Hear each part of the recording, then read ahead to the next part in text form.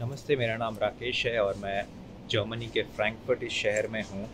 आज छः दिन के बाद बाहर निकला और मेरे जैसे कई सारे लोग हैं जो आज काफ़ी दिनों के बाद बाहर निकले हैं। इसका मतलब ये नहीं है कि ये लोग डरपोक है, लेकिन जब तक अपनी ज़रूरत की चीज़ें ख़त्म नहीं हो जा रही है, कोई घर से बाहर नहीं निकल रहा है, क्योंकि ये बहुत बड़ी सोशल रिस्पॉन्सिबिलिटी है।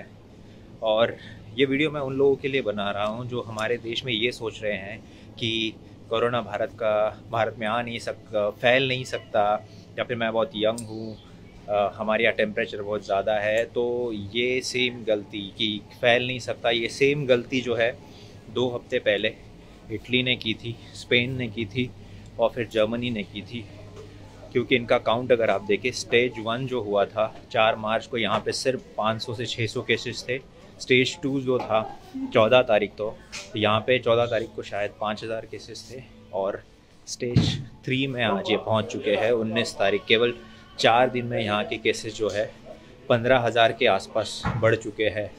तो प्लीज़ प्लीज़ ये गलती आप मत कीजिए, हमारे देश में घर पे रहिए, घर से बाहर मत निकलिए, क्योंकि यार, हमारे देश में अगर ये फैल गया ना तो बहुत बहुत ज़्यादा मुश्किल हो जाएगा।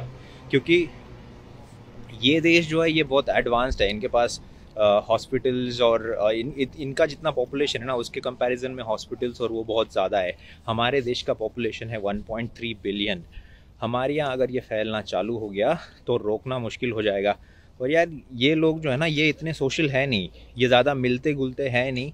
फिर भी इनके इतने तेज़ी से फैल रहा है। उसके कंपैरेटिव में अगर हमारा देश देखा जाए हम लोग इतने ज़्यादा मिलते हैं और बहुत सारे त्यौहार या मतलब बहुत बहुत सारे सोशल गैदरिंग हम लोग करते हैं तो अगर ऐसे ही इसी स्पीड से हम लोग मिलते रहे ना तो बहुत मुश्किल हो जाएगा हमारे देश में। और अगर आप ये भी सोच रहे हो कि यार मैं तो यंग हूँ, और मुझे अगर मेरे में आ भी गया तो मेरी इम्यूनिटी अच्छी है और फिर होगा नहीं, लेकिन अगर आपके बॉडी में है, आपको कुछ हो भी नहीं रहा है छः सात दिन तक आप उसको लेके चल रहे हो, लेकिन आप जब घर जाओगे तो आपके घर में जो बुज़ुर्ग है, बच्चे हैं, उनको अगर अफेक्ट हो गया तो यार कुछ भी हो सकता है। तो बाहर मत निकलिए। बहुत मतलब इससे अच्छा देशभक्ति दिखाने का आपको इससे आसान मौका मिल ही नहीं सकता। यार, कोई आपको कहीं हथियार लेके बॉर्डर पे जाने नहीं बोल रहा है।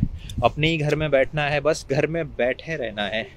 तो यही है कि अपने घर में बैठे रहिए बहुत सारी चीज़ें यार टीवी देखो मोबाइल बहुत कुछ है। और गवर्नमेंट अपनी तरफ़ से जो कर रही है, लेकिन जब तक आप लोग घर में नहीं बैठोगे, ये रुकेगा नहीं। और अगर फिर कर्फ्यू वाली सिचुएशन आनी, आ गई, जैसे इटली में है तो कर्फ्यू का मतलब आप जानते हो कि जो हमारे सैनिक जो बॉर्डर पे है, जो ऑलरेडी है, उनको फिर वहाँ से उठा के फिर उनको हर जगह शहर में डिप्लॉय करो और फिर अपनी बॉर्डर खाली करो, उसके अपने अलग डिसएडवांटेजेस है। तो यार, हमारे जो है सोल्जर्स यू नो जिसकी इतने लोग ज़्यादा रिस्पेक्ट करते हैं, वो तो घर से बाहर रह के सारे त्यौहार व्योहार छोड़ के बॉर्डर पे है। तो आपको तो कोई बॉर्डर पे जाने नहीं बोल रहा है, अपने ही घर में रहने बोल रहा है। तो प्लीज़ अपने घर पे रहिए, अपना ख्याल रखिए और सुरक्षित रहिए। और जो गलती हमने यस जो गलती इटली, स्पेन, फ्रांस, जर्मनी, इन देशों ने की, वो प्लीज़ हमारे भारत में मत कीजिए। अपना ख्याल रखिए। जय हिंद।